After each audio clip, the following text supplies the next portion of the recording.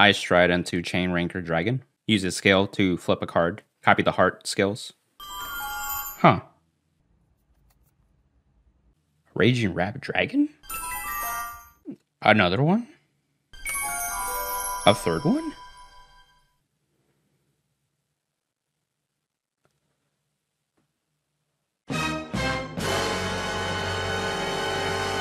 What's happening? Reality is warping.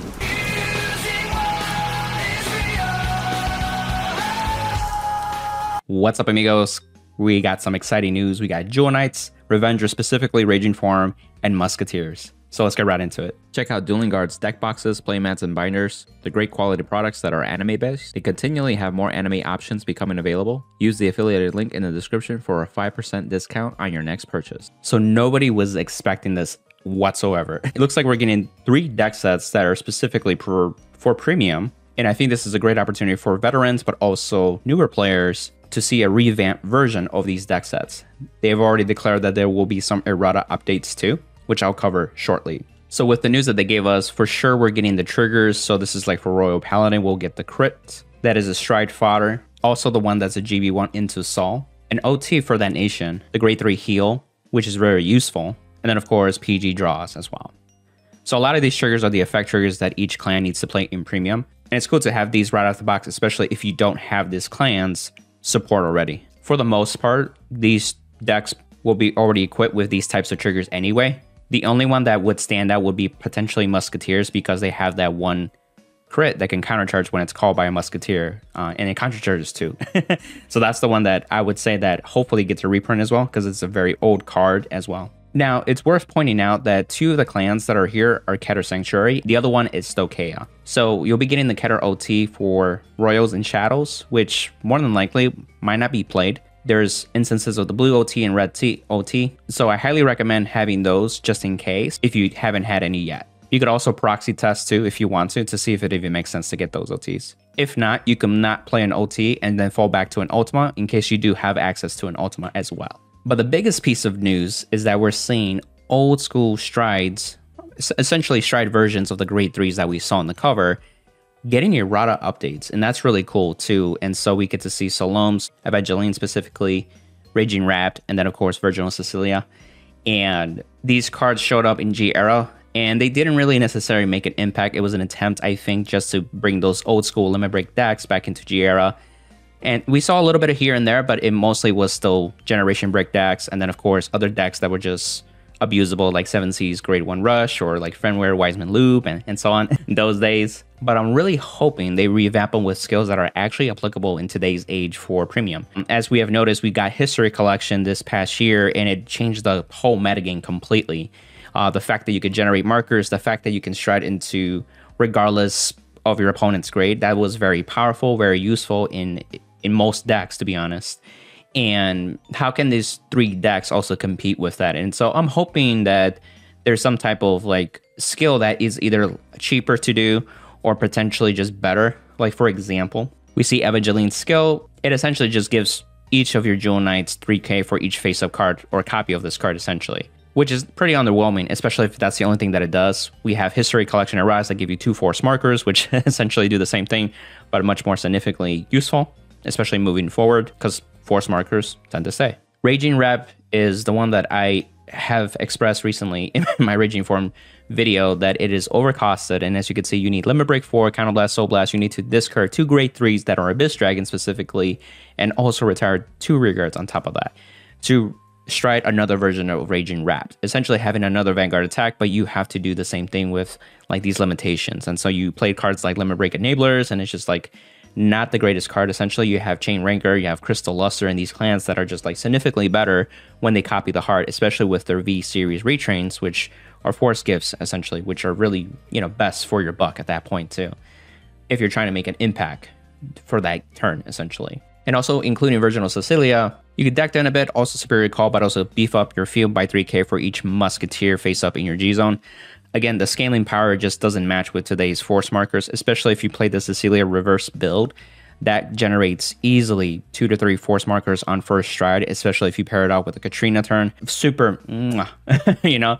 So so really it just begs the question like what do they have to do really to help revamp this and so this is where kind of like my speculation or my hopes and wishes you guys can express your opinions on, on what you hope for as well in the comments below but essentially one make the skills like costless if possible especially raging rapt dragon that's a notoriously overcosted skill also if there's a way to generate markers too or at least a marker to help compete with the other history collection decks that would be great for example, if you're playing Royal Paladin, you can have the Altmile go into the, the Gallblade essentially, and you get two force markers. So in a Jewel Knight deck, you're already playing the Jewel Knight V series support and relying on Crystal Luster. So if there's something that makes you play the old school Salome, I would hope that the synergy makes it like just as impactful or provides a different support. And so what do I mean by that? And so if we look at the old school grade threes, this is like BT10 support, so it's definitely outdated. You can see Limit Break 4 and it doesn't do much on its own. If some people were speculation that even the grade threes will potentially get errata too, and what will be really cool is that also have like the same stipulation where the strides can stride onto these, regardless of your opponent's grade. Kind of like a history collection type of deal. And you can generate maybe a marker or two. It just depends on how they want to go in this direction, but it needs to keep up with today's standards, essentially. This could be another alternative just to have in the package as a package essentially in your deck build if you're playing Knights already in this metagame, for example. There's other benefits or routes you can go. You can go into more of a stride break generation type of skill. So if you stride on this, you get some type of effect that's really good. Or it could be a totally revamped skill too, included on top of that, like a GB2 skill or something that's reworked. But you can make strides like Crystal Luster and Chain Ranker even like more useful because if the heart skill is actually pretty good, you could also have that option of striding that later with the GB3 guard restriction that those cards have and make a very strong turn still as well. Revisiting the old school Raging form, as you can see, it's Limit Break 4, which forces you to play Limit Break 4 enablers. And so if they can just remove that and be able to rely on Raging Rapt, that's fine too. I hope we just can get rid of that Limit Break 4 stuff. Uh, I think today's premium game has already gotten to the point where that has sped up along so quickly, especially if we're already playing cards like the Great the Heals to guard efficiently early game. We have Haunelis, for example, too. We have Rolox still here and there. Just cards that we already play to deal with other aggressive decks that can make a very early game very aggressive, essentially. And then lastly, the, the old school Cecilia card. Again, Limit Break 4.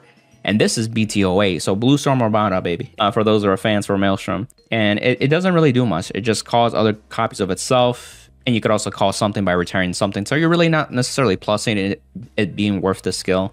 So I would hope they have some kind of like where you could just stride regardless of grade, but also have some type of break stride or maybe some other skill that just completely better that helps synergizes with those erratas too. And that's really all the news that they give us, and a lot of this is speculation right now. Again, this is just my opinions and thoughts and hopes. Essentially, if you guys have other ideas that would be really cool for these decks to really keep up with the metagame or just have fun with these decks while still playing against other history collection type decks, feel free to express your thoughts in the comments. I will say this, I think it's really cool that they're coming out with these specific premium like deck sets that you can just buy. And it has pretty much most of the cards, if not all the cards that you need from that deck as well, kind of like a structured deck, and maybe pick up a few. But one of the biggest things that I really is a maybe out of reach, but essentially I would hope for like the perfect reprint, especially for the Shadow and Royals, is just to reprint Crystal Luster and Chain Ranker as commons at this point. These cards are already expensive. And let me show you real quickly what I mean. And so you can see Crystal Luster Dragon at 67 on TCG. This is for the United States. Um, we only have like three cards in the market, and especially if we need to see more deck support of the, the new Salome support that's coming out for these deck sets. I feel like these are good just to have in case especially if you're a person that hasn't invested into the clan yet already too you really have nothing to work with. If you're already a royal paladin or a shadow paladin you know main you more than likely do have these cards already. So you're pretty much good to go. But for those players that would like to try these new clans in premium for themselves uh, this would be very good if they did it for like a reprint as a common. And Chain Ranker is not as bad, but it's still like $33, and more than likely you'll need two. And there's only few, but there's more than compared to Crystal Luster, but I think Crystal Luster is the one that needs to really have the reprint for sure. But just having these as commons will help a lot. I think if we give them like triple R rarity, uh, it could also like skew the decks in a sense where people are just buying them just for these reprint, reprints instead of like the actual like Raging or the Jewel Knight support essentially that people want to play those actual decks. It, we don't want to run into a situation where it's like Sanctitude. And Sanctitude was also like at one copy per starter deck essentially when those came out months ago. So I would hope they would do at least two copies. If they're very generous, then they'd do more. But as we saw with Night Rose and Harry deck set as well, they only gave us like a pair of cards at most, if not one copy at that point. So that's kind of like where my ideas, my speculation when it comes to like possible reprints, especially with these phenomenal strides. The other stride that comes to mind, especially for Musketeer, since it's Neo Nectar technically, is Katrina. And as we can see, if you don't have any Katrinas, you're kind of out of luck, especially since there's only two left in the market. Uh, we have a market price of 18, and then the median price right now that's listed is 69, which is you know too much if you're just trying to buy i mean this costs more than the deck itself right? And so that says a lot at that point. But I hope that could be an also possible reprint of katrina as well as a common too. So that will be more katrinas in the market especially since it came off the ban list earlier this year too which every neo nectar deck literally needs katrina or can play katrina and, and abuse it with all the tokens and the power and calling from deck any card from the battle phase during the battle phase too. Like it's just phenomenal card essentially. But I am overall excited for this as well. I was not expecting this at all. I actually recently did a Raging Form deck profile, so if you're interested in actually learning more about how it looks in premium, go check that out. Literally did it last week, so it's really up to date. But the fact that we got news that I can also modify it more with potential support that's useful too, that'd be great. I also play Musketeers too, so I could also revisit Cecilia Reverse in premium and hopefully it could be something that's a nice addition to already the Katrina reliance that we already have in the Neo Nectar decks as well. You could also check out my Musketeer Cecilia Reverse deck profile too for premium that I did months ago too. That's pretty much up to date as well. Again, let me know your thoughts, guys. I'm very excited for this, and I'm hoping to hear news soon, and then we can cover it, and then also like start playtesting and proxying. If you want to proxy cards once FX comes out, you could also check out how to make proxies video too if you're into that as well, just to help out as another resource. And if you want to support the channel, use the affiliate links down below 50 Card Shop, Trading Card Mint, Card Trader Zero, TCG Player. And I also offer a one on one coaching just to help improve your abilities or even prep for BCS events. Just happy to help out where I can. Until the next one, amigos. Bye.